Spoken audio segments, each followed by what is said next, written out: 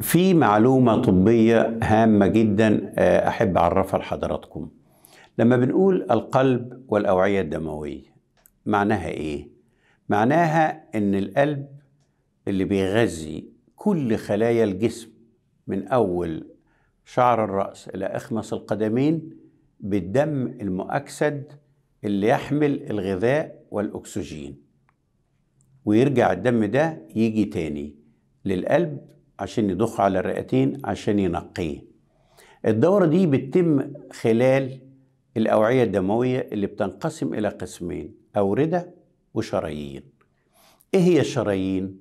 الشرايين هي أوعية دموية اللي بتنقل الدم المؤكسد اللي البطين الأيسر ضخه محمل بالأكسجين ومحمل بالطاقة والغذاء عشان ينتشر في شرايين فرعية أصغر فأصغر فأصغر لحد ما يصل إلى كل خلية من خلايا الجسم.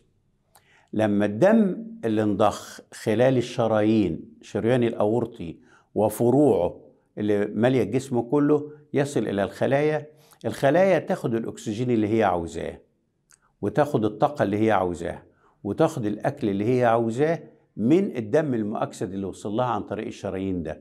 وبعد كده تقوم حاطة الفضلات اللي عندها مع الأكسجين اللي بعد ما خدت الأكسجين والطاقة بتاعتها وتقوم جاية حاطة الفضلات ومرجعاه في الدم تاني يقوم كل ده راجع على القلب عن طريق الأوردة وبعدين لما يروح القلب يروح على. الأذين الأيمن ثم البطين الأيمن عشان يضخه إلى الرئتين علشان. يغير الأكسجين تاني بثاني أكسيد الكربون ياخد ثاني أكسيد الكربون اللي موجود في الدم اللي جاي من الوريد ويحط بداله أكسجين يبقى الأوردة هي عبارة عن إيه هي عبارة عن الأوعية الدموية اللي بتشد الدم من جميع خلايا الجسم وهو غير مؤكسد ومحمل بثاني أكسيد الكربون ومحمل بفضلات الغذاء بتاعة الخلايا عشان يرجعوا الدم عشان يتنقى من أول وجديد وينضخ الدم النقي عن طريق الشرايين إلى الجسم.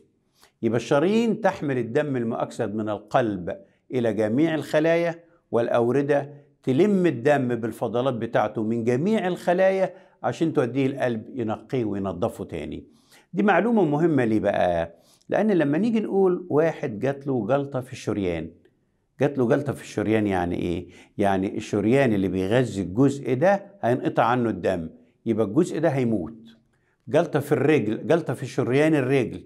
الشريان الرجل يبقى فيها ألم شديد جدا وتصفر وبعدين تزرق وتسقع ويا إما ألحق أفتح الشريان وأوصل الغذاء للرجل يا إما بعد ست ساعات الرجل دي هتتقطع وهتجيلها غرغرينة وهتموت. طب لو حصل جلطة في الوريد بتاع الرجل ما يحصلش الكلام ده ما يحصلش خالص. بس الرجل توجع وما بقاش قلقان ومتوتر عليها زي الشريان يحصل جلطة في الوريد يبقى الرجل دي تورم وتحمر وتوجع وأبدأ جري إيه تورم الرجل عن الرجل التانية وتتخن يبقى فيها آه زيادة في القطر بتاعها مع حرقان مع احمرار مع وجع في الرجل.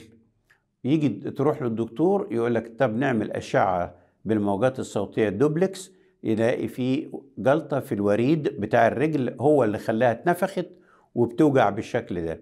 مفيش قلق كبير من الجلطة اللي بتحصل في الساقين أو في ساق من الساقين دي إلا في حالة واحدة.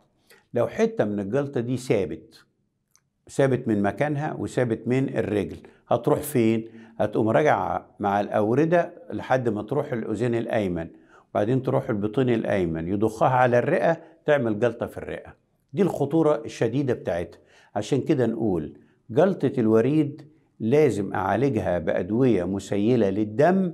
واخد الأدوية دي لست شهور من تاريخ على الأقل من تاريخ التشخيص. وتني أتابع الحالة بالدوبلكس لحد ما أطمئن إن أدوية السيولة دوبت الجلطة اللي في في اورده الرجل دي ودابت خالص وانتهت وبقت خلاص الوريد فتح تاني والدم بقى يمشي طبيعي فيه. آه لكن جلطة الشريان تقطع الدم وتقطع الأكسجين وتقطع الغذاء عن الأنسجة والعضلات بتاعة الرجل والرجل في ست ساعات يا تاكل يا ترجع يرجع لها الدم تاني يا تتقطع تاني يا تتقطع الرجل دي. يبقى الفرق بين الوريد وبين الشريان اتضحت. الفرق بين جلطة الوريد وجلطة الشريان بقت أوضح دلوقتي. دي محتاجة علاج ودي محتاجة علاج. دي لها خطورة ودي لها خطورة. علاج دي غير علاج دي لكن لازم نبقى فاهمين الفرق بينهم الاتنين آه إيه. وتمنياتي لكم بالصحة والسعادة.